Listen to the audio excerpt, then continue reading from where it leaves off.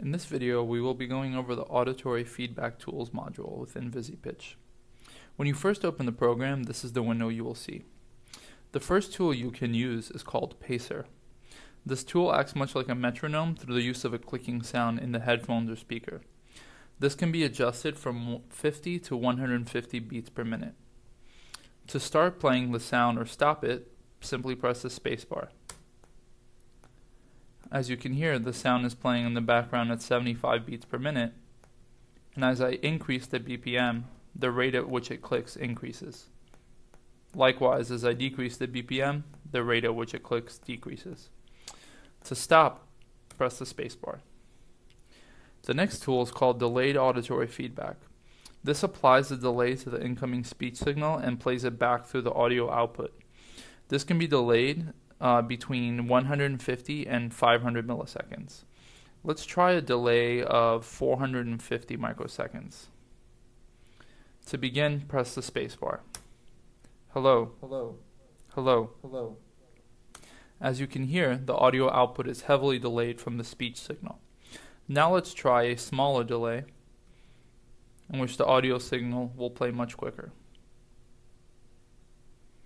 Let's do 200. Hello. Hello. Hello. And as you can hear, the delay there is much smaller.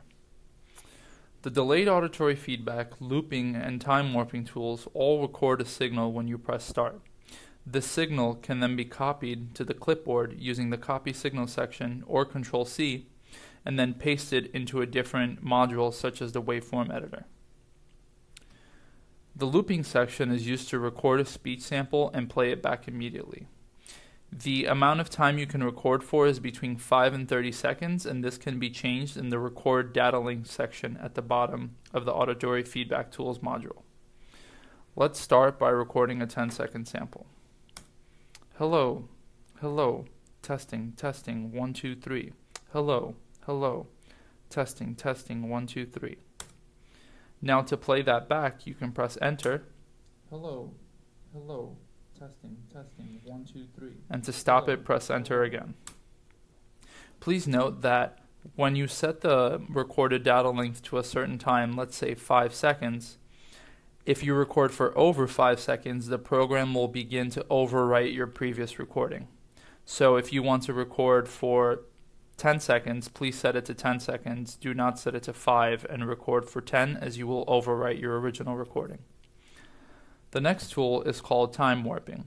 This tool will allow you to record a speech sample and play it back with a different duration without changing the pitch of the sample.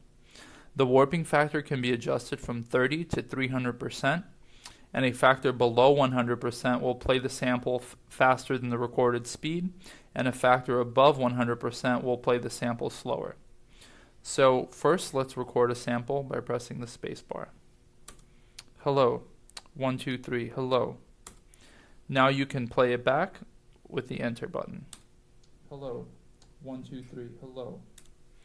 Now, let's reduce down to 30% so we can play the sample faster and you will be able to hear it. Hello. One, two, three. Hello. Hello. One, two, three. Hello. And as you can hear, the sample is much, much faster, but the pitch remains the same. Now let's go all the way up to 300 and play the sample again. Hello. One, two, three. Hello. And you can hear there that is much, much slower, but the pitch again remains the same. The next tool is called masking. This tool will play a noise concentrated in the speech frequency bandwidth into the user's headphones. What this will do is mask the speaker's own voice so they cannot hear as they speak. To start playing that sound, just press, press the space bar. And again, to stop it, press the space bar again. As we discussed previously, the record data length section will let you change the amount of time that you will record data for. And again, this can be adjusted from 5 seconds up to 30 seconds. If at any point you need additional information on any of the tools, press the help menu and uh, instructions for use will pop up.